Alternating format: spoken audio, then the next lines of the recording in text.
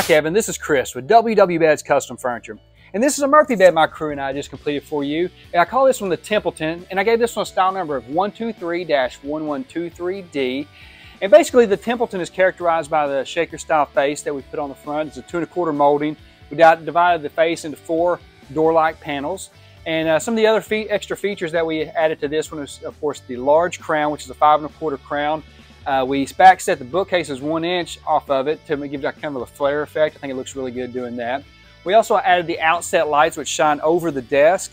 Uh, it can be used in the desk position or in the bed position as reading lights. If, uh, if it's in the desk position, you have a touch sensor on the side, so you have a low, high, and then off again on the lights. And there's also one in the bed, and I'll show you that in just a minute as well.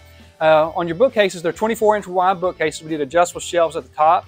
Uh, we have a mid-door section here with the adjustable shelf and we also have uh, soft close doors on that. Below that we have a tray that pulls out. This can double as a work extension for your desk or it can be used as a drink tray when it's in the bed position.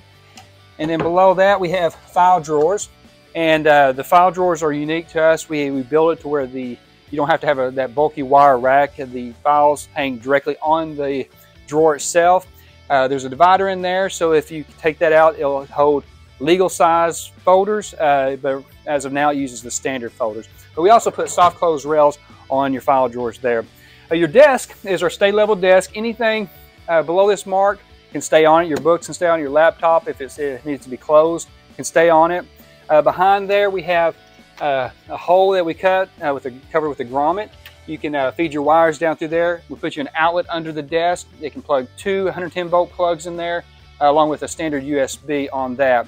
Uh, we also did the uh, pencil drawers on your stay level desk. So these are three pencil drawers across there.